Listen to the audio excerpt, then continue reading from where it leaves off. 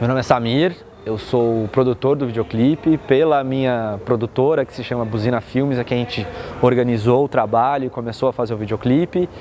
Mas ao mesmo tempo estou fazendo um pouco de tudo também. Tô fazendo, já fiz figuração hoje, estou montando o videoclipe, também estou cuidando da, da interatividade é, e estou aí tentando fazer o máximo para esse videoclipe ser o melhor possível.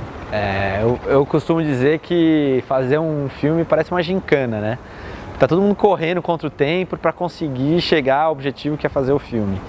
Eu lembro, assim, da primeira vez que o Kito veio falar comigo, se apresentou, ligou para mim, propôs, a gente foi indicado por uma pessoa em comum, que é o Ney Marques e o Vando Mantovani, que falaram que a gente devia se encontrar para fazer esse clipe, aí o Ney veio falar comigo uma vez, essa primeira vez que ele falou comigo, a gente não teve muito maduro o que a gente ia fazer, a gente se encontrou numa padaria, eu falei, meu, pensa melhor o que você quer, vê direitinho o que você quer fazer, depois me liga. E achei que ele nem ia me ligar, entendeu? Achei que acho que ele ainda não sabia que ele queria fazer um videoclipe mesmo.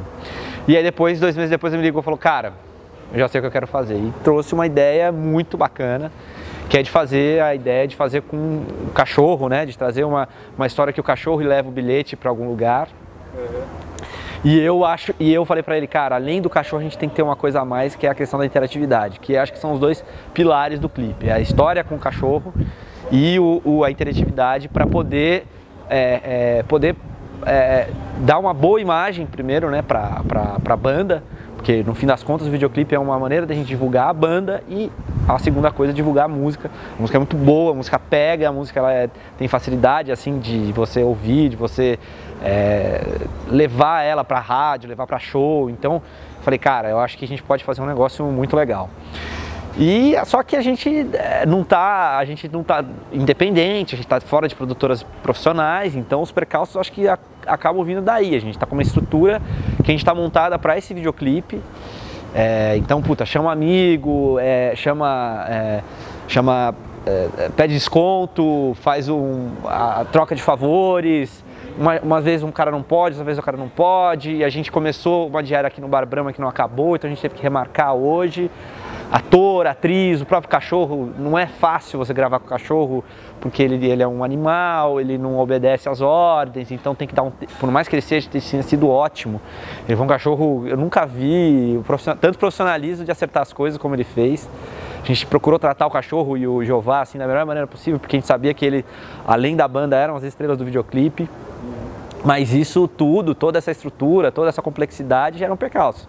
Geram dificuldade, geram horas de trabalho, horas, horas, horas de trabalho, mas eu estou vendo aí o resultado e eu estou achando que ele vai ficar excelente, vai ficar muito bom, vai ficar um negócio diferente que eu não estou vendo no mercado um produto que nem esse. Cara, a primeira vez que eu li o roteiro, eu fiquei falando, meu, um roteiro como esse tem tudo para dar muito certo, cara. Essa ideia de você ter uma história romântica, que tem a ver com a música, que tem a ver com o cachorro. Falei, cara, isso acho que pode dar um. Eu ia, vou brincar de dar um samba, apesar deles fazerem um rock. É, eu acho que dá um puta samba. Eu acho que é um negócio que vai. É, as pessoas vão gostar. Essa questão do cachorro vai fazer com que as crianças é, queiram brincar com o clipe, essa questão da interatividade. Então eu acho que é um negócio que, quando eu li o roteiro, eu falei, cara, acho que temos aí uma coisa muito interessante para fazer.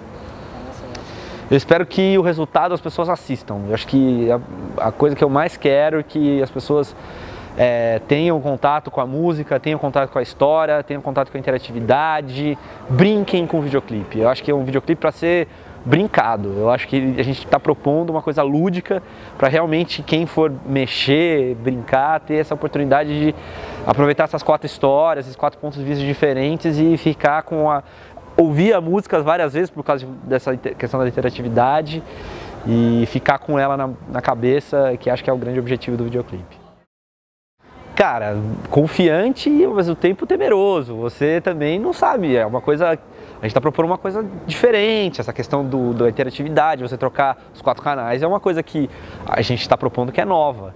Mas ao mesmo tempo, por ser uma coisa inédita, eu acredito que as pessoas é, vão falar, nossa, olha que coisa diferente, olha que coisa interessante, vamos, tem, vamos, olha meu amigo, meu amigo, olha isso, que é um pouco dessa questão da viralização na internet e desses outros videoclipes que tiveram, que tiveram uma aceitação muito grande, mas sempre com, sem receita, né? A gente não sabe como é que esses videoclipes tiveram essa questão da viralização tão forte. A gente pode citar a banda mais bonita da cidade, que tipo, de um dia para outro teve mais de um milhão de views, a, a, a a, a, a, do Michel Teló, porque o Cristiano Ronaldo fez a dancinha lá em Portugal, a música foi e deu uma. A gente não tem receita, a gente está tentando arriscar e ver se a gente faz uma coisa diferente, mas é, é, um, é, um, é um risco, é, uma, é, um, é um risco calculado, mas é um risco. É, gente, brinquem com o videoclipe. O videoclipe é para vocês ir para o ponto de vista do cachorro, ir para o ponto de vista do Quito, da banda, é, ver como é que é o, o, nosso ator, o nosso personagem masculino perdeu a menina, como a menina recebe por isso, essa questão. Brinquem, é um clipe para vocês brincarem, para vocês mexerem e se divertirem. É isso que eu tenho a dizer para vocês. Oi, meu nome é Julia Fotti e eu sou atriz do clipe da Cosmorama. Na verdade, eu fiz um trabalho com um dos integrantes da banda, o baixista, o Thiago, e aí a gente teve uma reunião breve com o Kit, com o diretor, e aí a gente acabou combinando tudo certinho. Deu certo logo de primeira, graças a Deus. Bem legal. Eu achei uma proposta muito desafiadora, interessante, diferente, inovadora. Eu acho que o que mais me chamou a atenção, eu não conhecia a banda, mas eu gostei muito da ideia do Jorge e o carinho que o Kito tem pela banda e pelo clipe também, dando ideia sempre. Então eu gostei bastante, era uma equipe de responsabilidades, eu sabia que eu estava lidando com profissionais e que eu ia ser bem-vinda e que tudo que eu opinasse também ia ser bem-vindo. Então eu me senti livre para ajudar a opinar também, foi bem legal. Ai, tá sendo bem legal, é diferente. Eu já tive, eu já participei de clipes e de outros trabalhos, mas... Opa, obrigada. Eu já participei de clipes e de outros trabalhos, mas esse tem animal e eu nunca tinha visto um cachorro adestrado de perto, assim, trabalhando. E ele tem o tempo dele, mas assim, acho que é, é bem profissional, né? Porque a gente tem que respeitar, não pode ficar brincando, não pode ficar mexendo. Mas é bem diferente, é engraçado. E a banda também interagindo. O final do clipe vai ser bem legal. Eu achei bem surpresa, assim, como vai ser divulgado. É um trabalho bem diferente.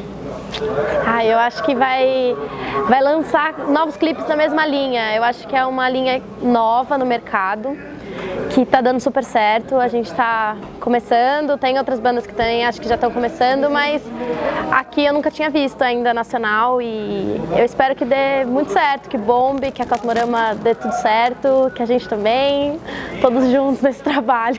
Boa sorte, eles não ficam tirando. Boa sorte, Cosmorama e equipe, produção, vai dar tudo certo, nosso trabalho vai ficar incrível, vai bombar na internet.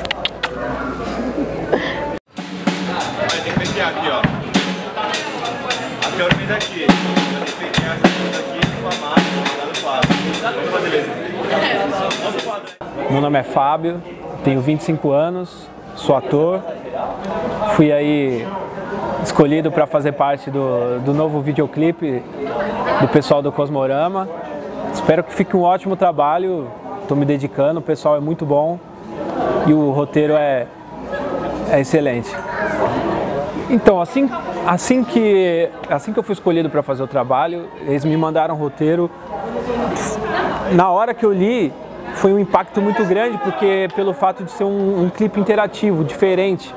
Tipo assim, eu nunca tinha assistido algo parecido no Brasil. E aí eu vi que tinha até um animal gravando junto. Pô, é bem diferente, cara, é bem diferente. É minha primeira, meu primeiro trabalho com animal e meu primeiro primeira gravação de um clipe interativo, sabe? É bem diferente mesmo. Eu até fiquei impressionado porque no roteiro tem muitos detalhes, cara, muitos detalhes mesmo. E tá, tá ficando bom. Pelo fato de ser um clipe interativo e pelo fato de, de ter um animal junto, entendeu? Porque eu nunca tinha gravado com, com um cachorro. E a gente precisa do retorno do cachorro e o cachorro precisa do nosso retorno. Isso é bem diferente. Mas de resto tá Tá bem bacana, espero que fique ótimo. Eu espero do resultado do clipe que fique. Vai ficar muito bom, tenho certeza, mas que é, impressione pelo fato de ser uma plataforma diferente e as pessoas no Brasil não. acho que nunca tiveram contato com, com um clipe dessa forma, assim, de estar tá passando três histórias ao mesmo tempo. Eu acho que vai ficar muito bom.